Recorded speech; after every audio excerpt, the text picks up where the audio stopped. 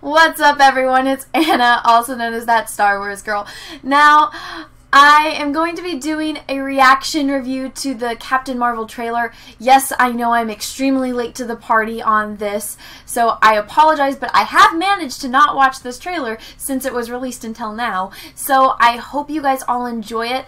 Since I haven't seen it, I haven't uh, spoken too much about my criticisms for it. I did mention on one of the episodes of the Common Sense Crew that I if they're going to try to introduce this character and be like, oh, she's the new face of Marvel, she's going to save everyone from Thanos after we just watched Thanos destroy everyone.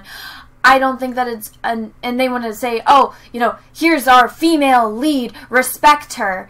Uh, but they're not even showing her the same respect. I think that if they want to really establish her as a character, they should do for her what they did for Iron Man. And as a kid, I don't remember too much about Iron Man. I mean, I remember like the three main superheroes, which was Batman, Superman, and Spider-Man. Those are the three main superheroes that pretty much are universally known throughout the world. And then, of course, you have characters like Wonder Woman, you have other characters like Green Lantern, or, you know, the Fantastic Four. You have other characters that are, they're, you know, very well known that most people would know who they are. But Captain Marvel has never been one of those characters. And also, she didn't start off as Captain Marvel, she was Miss Marvel, and then they made her into, or she became Captain Marvel. So I don't already I'm kind of off put by the fact that they just dissed the fact that she was Miss Marvel. And it's like, oh, let's make her Captain Marvel because I, I don't know. I feel like in some way that they're going to think that it's kind of you know, looking down on a woman to call her Miss instead of Captain. I mean, really, come on, she was Miss Marvel for years and then she became Captain Marvel. And I, I think it's doing her a bit of a disservice as not establishing her as a character and just throwing her into this franchise with all these already established characters. Like, Iron Man has three movies. Before, like, like I said, when I was a kid, I didn't, I can't really remember too much about Iron Man. Like, I, he wasn't a big part of my childhood. But when Iron Man the movie came out and started off the Marvel franchise, it's like, wow now when Iron Man's on screen, you know shit's going down.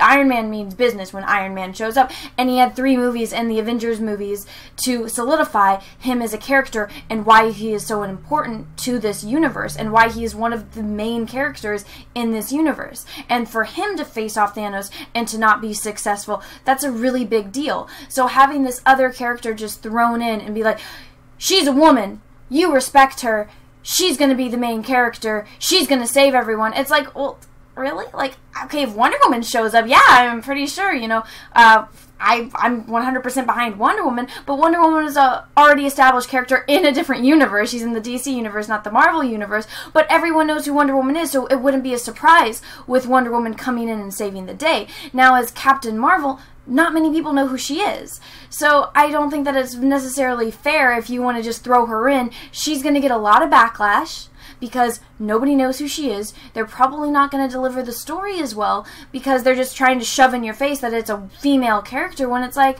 um, Iron Man got three movies to explain who he was over a period of time, showing also the evolution of all these other characters. Why didn't they show Captain Marvel? And I could be wrong because they did a very good job with Black Panther with introducing him in Age of Ultron and then doing the movie about him. So they could potentially do that with Captain Marvel, but at the same time, I think if they really want to give her the attention that they are saying that she deserves, they should have done that. They should have done you know done the origin story with the first movie and then done another one and shown her. Maybe this will be her intro movie and then after they will do a few movies about her if it's successful.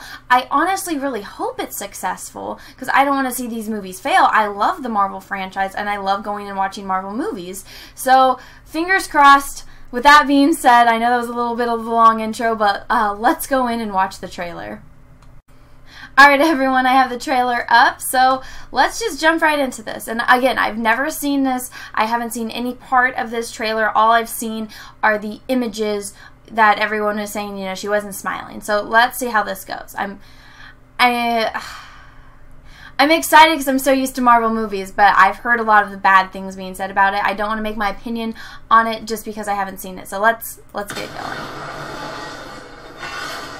Okay. Ow. Blockbuster! Yes! Oh my gosh! Flash from the past. Okay. Alright, homegirl. What section was she? Whose voice is that? I know a renegade soldier when I see one. Okay. Ooh, she's Never green. occurred to me that one might come from above. Okay, Nick Fury. She's she's in green. Okay, Marvel's just turned blue. Thumb. Space invasion. Big car Okay. chase. Looks very action packed. I was ready to hang it up. Yes, Nick. Until I met you today.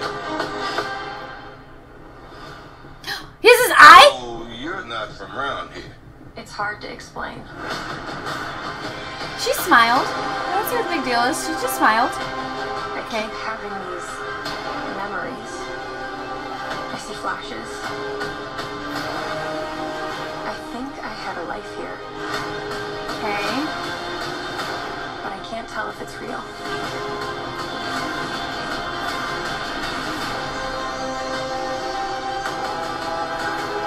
Jude Law! Yes! Ah, Nova! I'm so excited. Okay. Special effects look great. No idea what threats are out there.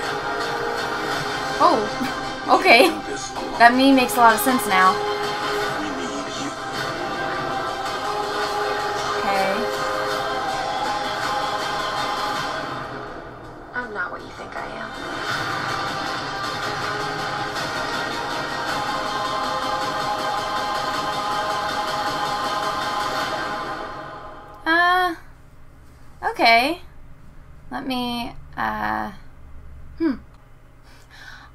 So after watching that, I mean, I didn't think it looked bad. It looks interesting. I think the special effects are great. I'm, to be completely honest, I'm more excited to see the backstory on Nick Fury than I am to see about Captain Marvel.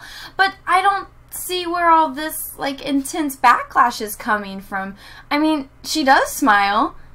Just because she's not dressed all sexy like Wonder Woman, I don't see that as bad or uh, or how this is really. I mean, maybe I'm missing something as far as what's being said by the people that are making the movie, but just from the trailer, it looks like it's going to be kind of like a Black Panther movie where you get a, a little snippet of who the character was in one of the Avengers movies, and then they come in and they take care of business. And maybe there's going to be some virtual signaling in it, but just from this trailer, I didn't see that. I mean, I think my favorite part of the trailer was actually seeing the blockbuster, but uh, it doesn't look too bad. Like I'm, I'm interested in it. Uh, I know a lot more about Captain Marvel and Miss Marvel than the general audience is going to know just going into seeing the movie because I did have to study comics in college. So I do know a little bit about her and what's going on and who some of these characters were. Uh, I, I'm I mean, I'm mildly excited about it. I was more excited to see Black Panther than I am to see this, but I it doesn't look as bad as everyone is saying. So I don't know. I mean, I just and I mean Brie Larson. Yeah, I think she was good in twenty. Uh, was it twenty one or twenty two Jump Street? Uh, it was one of the Jump Street movies. She was funny in that. I don't. And I'm, I didn't watch Room because I know what it, that movie's about, and I didn't feel like crying.